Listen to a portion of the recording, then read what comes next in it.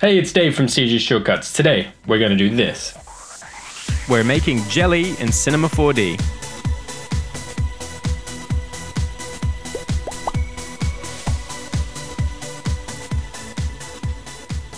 Okay, let's set up our scene. We're going to go 1080 by 1080 this time. We'll keep it square because we want to post this on social media. Let's add in a camera and switch it on and let's just get it into position. Something like that should do us. Now we'll start building our jelly. Let's go up here and bring in a flower object. Let's grab that and in the object tab, let's change the plane to XZ so it's pointing up. Let's scale that down a bit. Right there looks good. Now we'll duplicate our flower. You can just hold control and drag it up. We'll grab that move tool and put it up here. Let's go back to our first flower and we'll change the inner radius to 30 centimeters and the outer radius to 40 centimeters. And for our top flower, let's make the inner radius 12 centimeters and the outer radius 24 centimeters. And we'll put that about there. Okay, with our top flower selected, Let's hold Alt and add a loft object so it'll become the parent and we'll drag our bottom flower into that under here as well. Now that's starting to look a bit like jelly.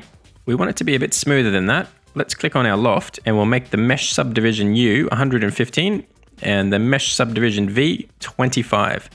We also want to tick the organic form box. It's looking a bit better now, we just want the top to be a bit smoother. Let's go into the caps tab and turn on fillet cap We'll bring the steps up to 5 and the radius up to 8 centimeters. Now it's starting to look a bit more like jelly. Let's tick the create single object box and we'll come in for a closer look. Okay, I think we're ready to make the plate for our jelly to sit on. Let's middle mouse click and go into our right view. We'll frame that up and we'll grab our pen tool. Now we're just gonna draw a pretty rough shape underneath our jelly, which will become our plate. Stick one here, and around here, one about there, up here, there, and and at the end we'll click back on our first point so we've got a closed shape. Let's middle mouse click back into our perspective view. And as you can see, the spline doesn't look like much yet, but we're going to come up here and add a lathe.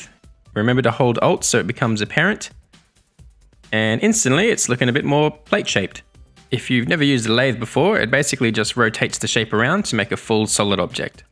We want to make this a bit smoother, so while holding Alt again, we want to add a subdivision surface. That'll become the parent and it's looking much smoother. Right, that's the modeling out of the way, let's set up the animation. We want to keep everything nice and tidy, so let's bring a null in, and we'll put everything in there. Let's switch our camera back on so we can see the area we can work in. We want to loop this animation, so I think 70 frames is all we need. Let's come forward to frame 20 and we'll set a keyframe at 0 in the x-axis of our null. And the same again at frame 50. So we want it to slide in from the right and out to the left. We'll put 230 at frame 0 and set a keyframe.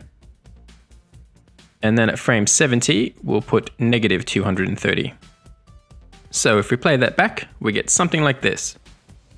Okay, let's stop that and we'll quickly organize our scene so things don't get too confusing. Let's rename our null to control as it's controlling our animation. And the subdivision surface to plate. And the loft is the jelly. Okay, to make this jelly jiggly, we need to collapse the object. To do that, you just select the object and press C on the keyboard. Now it's a single piece of geometry that we can manipulate. Now, while holding shift, we'll come up to the deform tab and we'll add a jiggle. And that should become a child of our jelly. And if we play that back, you'll see it jiggling around there. But at the moment it's being applied to the entire geometry. And while it does look cool, it's not quite what we want. Let's grab our jelly and middle click and come back into the right perspective view. We'll come up here to our rectangular selection tool and making sure our vertex mode is selected to the left, we can grab all of these vertices. Probably to about halfway should work for us. Now with those selected, let's come back into our camera view and we'll go select set vertex weight. We want to make sure the value is set to 100 and hit OK. You'll see now up here on our jelly, a new vertex map has been created.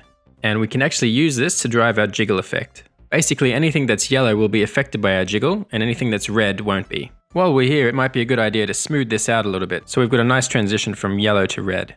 If you double click on the vertex map, it should bring up the paint tool menu, which we've already got open here. If we go down to mode and change this to smooth, making sure that the smooth is set to 50, and quickly come up and make sure we've got our jelly selected. Let's double click that again. We can now come down and hit apply all, and that should smooth out that transition. Now it's just a matter of applying this to our jiggle deformer. If we go to the restriction tab, we can drag that vertex map in there. We'll go and hit play again. And there you go. Wiggly jelly. If you wanted to, you could probably smooth that out even more. We'll just go up and double click here again, and everything is how we want it. We'll hit apply all a couple of times. It should be nice and smooth now. And that's even better, I think. One last thing you could do to make this even better is chuck our jelly in a subdivision surface. Let's do that and have a look. We'll grab our jelly and come up here, holding Alt Subdivision Surface. And you can see it's subtle, but I think it does make it a little bit better. And that's about it for our jelly tutorial. As usual, you can download the project file below to save a bit of time. Thanks for watching! Let me know what you want to see in the comment section below. Or you can leave a like, or dislike. And don't forget to subscribe and click on that little bell icon for more videos and free stuff. Catch you next time.